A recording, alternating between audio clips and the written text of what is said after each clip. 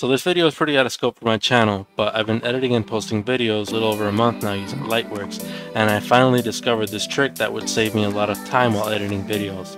I don't know why they don't make this more obvious and set some as defaults, but in all the guides I saw, nobody ever mentions these. I knew there had to be a way, and I was right. It turns out that you can set keybinds for these playback speeds. You just have to go back to the main menu, the cogwheel on the top right, key assignments, and this is where you can change all the hotkeys. I'm to go down, skip towards the middle, where you will find the ones I'm talking about. Playback speeds for 2, 3, 400%. I set some of them to the numericals on my keyboard on the top row. When you want to set a keybind, you just click on the one you want, you hit assign key, you press whatever key you want to set it as. For example, this one would have been 7, you're done. Um, you can also remove it. Um, there's a bunch of other keybinds that you might find useful.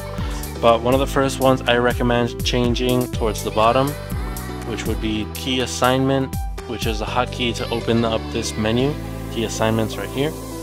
But you're gonna want this because you need to go back into the actual reel in order to like test out what these buttons are doing.